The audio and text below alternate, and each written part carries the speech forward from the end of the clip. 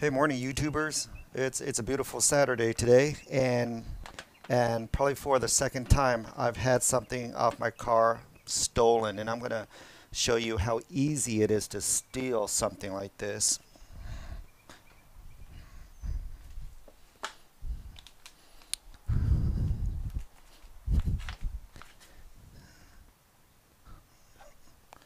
Less than half a second, it's gone.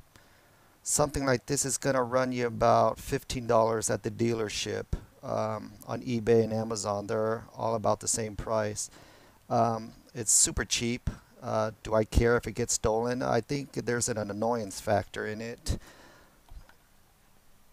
Let's put it back there. Like I said, the thing is only 12, 13, 14, 15 bucks. You can find them on Amazon, eBay, or whatever. Uh, they're fairly cheap. It's not like a, a hundred dollar item where you're gonna start flipping if uh, if it gets stolen off your car. It's it's fairly cheap, but like I said, there's an annoyance factor in this, and, and every time somebody comes by and steals it, um, it pisses you off because you got to go out and, and buy another one, right? It's and fifteen dollars does add up over time, um, and and you kind of have to waste your gas driving around trying to find out who in your neighborhood drives a Lexus that has one of these things on their car and you got to flatten their tires or key up their car and I think I already flattened about seven Lexuses in my neighborhood but it just gets tiresome. You you you, you start having a, an epiphany and and realize that what you're doing is wrong even though what they're doing is wrong right and plus you're wasting a lot of gas driving a V8 around your neighborhood trying to look for this trying to find out who's who's been stealing your shit and then nine out of ten times you're you're keying up the wrong car. And sorry about that. Well, anyways,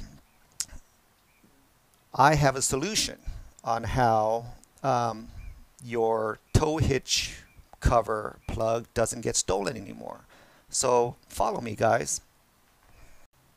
So what we're going to need for this project is, of course, you're going to need your tow hitch plug right here we are going to read it upside up just like this, right side up just like this, and we're going to flip it over exactly how it reads. Okay. Next one, you're going to need your tow hitch receiver lock pin right here. You're going to probably need this later on. You don't need this for this project right now. Let's set this aside. You're going to need about three of these, okay? Unless you find a more creative way to do this, I'm sure you will.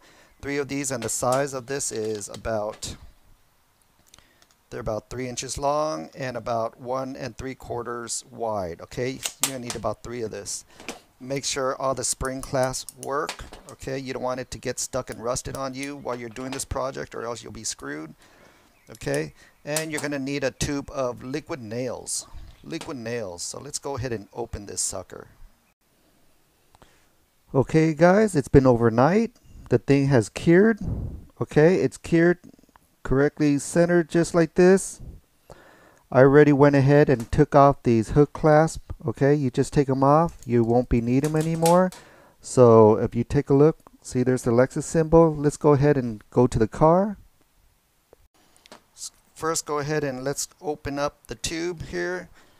I'm just going to cut off about half an inch off right there. And at the end of your little thingamajig tool here, you got a little sharp point right here you're going to stick it in there and you're going to open it up break open the seal okay? Once you break open the seal you can go ahead and flap this back into place. Well you're going to wipe that first but I'll wipe it later okay? You're going to put it inside your little tube dispenser here and you're to start squeezing. Once you start squeezing remember to have the Lexus logo this way just like this. The reason being is because this thing the small end is going to go in first and it's going to go in just like this okay but before you do that you're going to take this and you are going to clasp it on here. Okay you're going to take one of your clasps and you're going to take another one and you're going to go ahead and engage it in there. Okay the big end goes in. You're going to take another one take the big end make it go in just like that. The big ends are linked on to there and you want to have this big end facing up. Okay And remember the letters are, oops, this is upside down. The letters are like that. You're going to want this thing right here to be pointing up and down, just like that, up and down, just like that. You see that? Okay, so let's go ahead and fill this sucker up with liquid nails.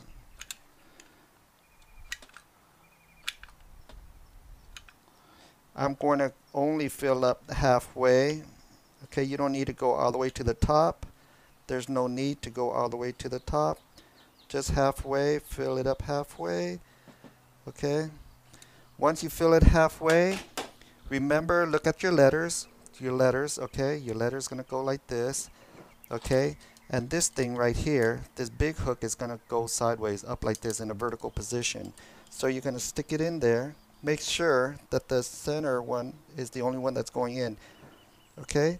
And you're going to use your two clasps on the side just to hold it into place, just like that.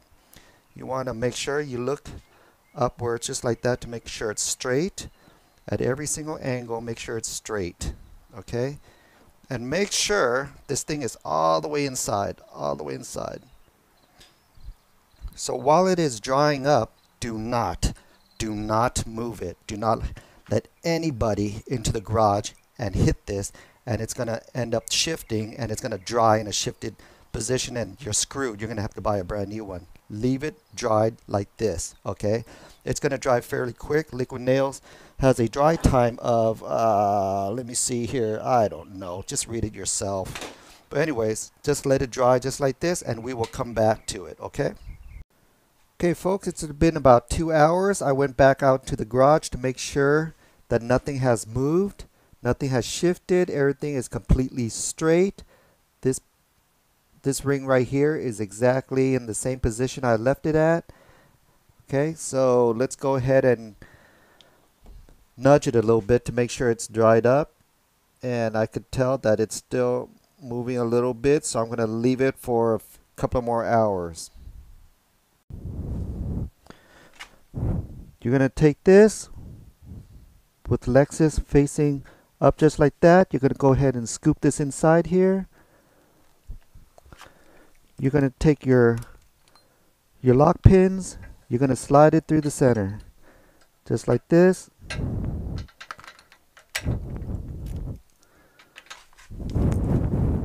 Solved. That thing ain't going to be pulling off with that concrete glue in there it's stuck in there guys and that's what I want Let's go ahead and take it back out there.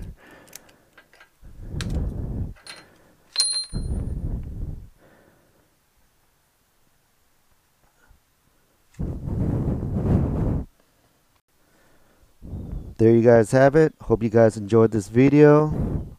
Alright.